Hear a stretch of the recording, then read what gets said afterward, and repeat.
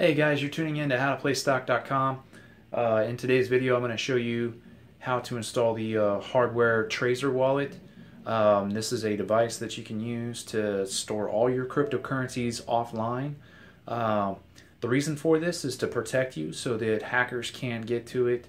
Um, and also, if you have cryptocurrencies online, uh, say through an online wallet, the downfall to that is that the company who designed the website for those online wallets is the one that controls your cryptocurrencies, okay? So, in order for you to have more control over your cryptocurrencies and storing those and making sure that they're safe so that nothing happens to them, you can store them on uh, offline hardware wallets such as uh, Trezor. Now, what I'm going to show you today is uh, the Trezor hardware wallet. Um, I just purchased this myself, so I'm going through the setup on it right now, and I'm going to take you through on that.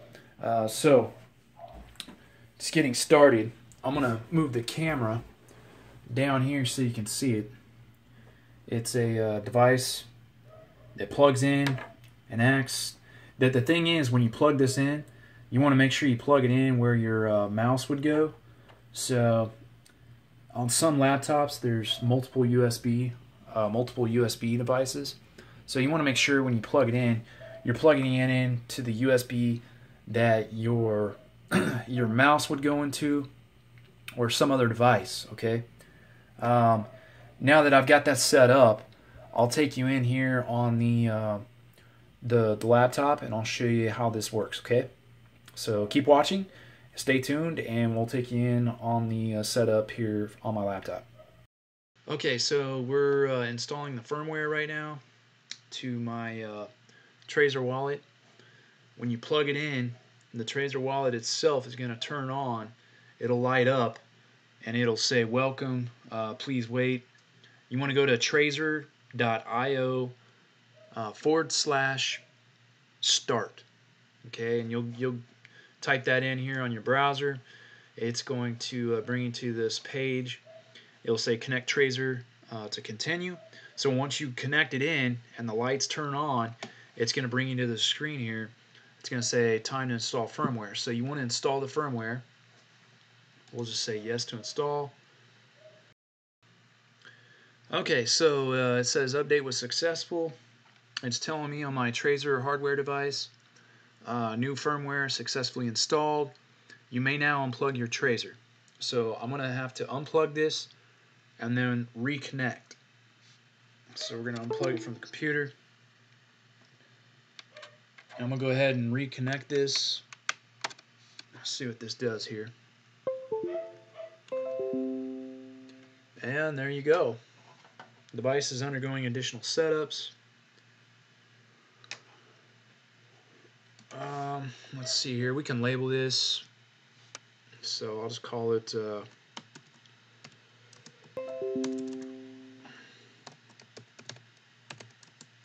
call it. Uh, Casey's Vault.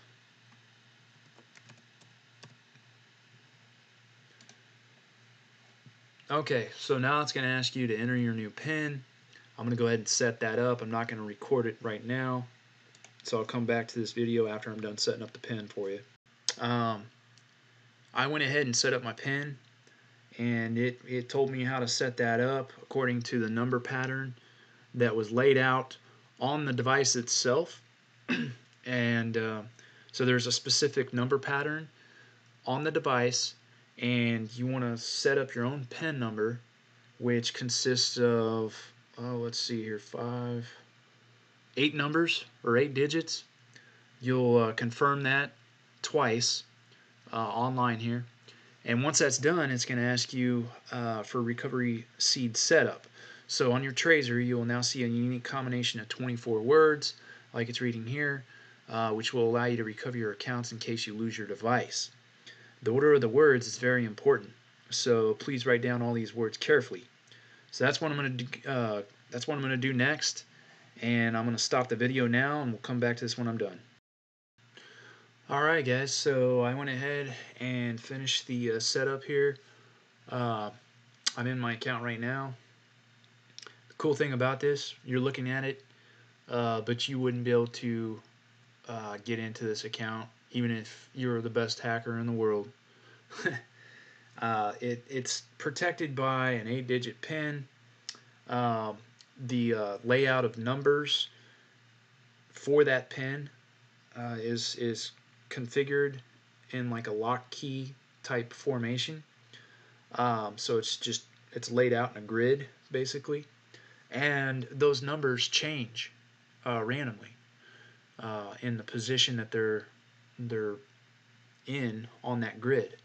So you may have like a grid that says one, two, three on the first row, uh, four, five, six on the second, and then seven, eight, nine on the third row, right?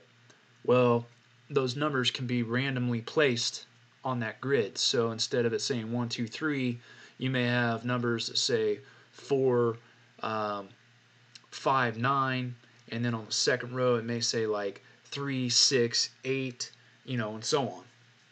So you have to you have to be able to basically decipher that, okay? Um, and that's while the wallet is plugged in, you would have to be able to get to that, which is damn near impossible. Um, and then on top of that, there's a uh, 24 word uh, seed. So if I ever lose this wallet uh, for whatever reason, I can get back into it and access it at a later date.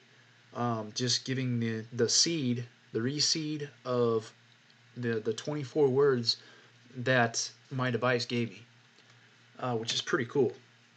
So there you have it. Um, now what I have to do basically is just add accounts, but that's how you set it up. Okay, so now I'm in the application settings, uh, which is pretty cool because this wallet, the Trezor wallet, accepts Bitcoin, Dash, uh, Litecoin, and Zcash. Okay, um, so if you are investing in any of these uh, cryptocurrencies, that's what Trezor accepts at the current moment. Um, I don't know because I'm new to this uh, Trezor wallet. So if anybody is watching this right now, uh, go ahead and let me know if, if you know the answer to this. But, um, you know, there's probably, I would say, software updates that are ran on this hardware uh, whenever they make uh, upgrades to it. And I've heard from other people who shot videos on this that you can actually plug your device in and go get those uh, firmware updates. Um, so I'm wondering if maybe uh, at later dates the currency on the back end is updated. Um, so for you know people who want to invest in uh, say Ethereum, for instance, they'll be able to move Ethereum uh, over to the wallet as well. I don't know if that's something that they're working on. If anybody knows, go ahead and leave you know your comments in the description below in this video uh, so that we can all know what they might be doing with uh, firmware firmware updates uh, moving moving on in the future here. But I just wanted to show that. Um, other than that, that's the Trezor wallet for you. If you guys found this uh, information beneficial as far as setting it up, um, go ahead and hit the like button, share this with others. Um, other than that, you guys have a great day, and uh, you're tuning in to howtoplaystock.com. If you haven't subscribed to the channel, go ahead and do so. And uh, remember, guys, income is the outcome, okay? I'll talk to you later.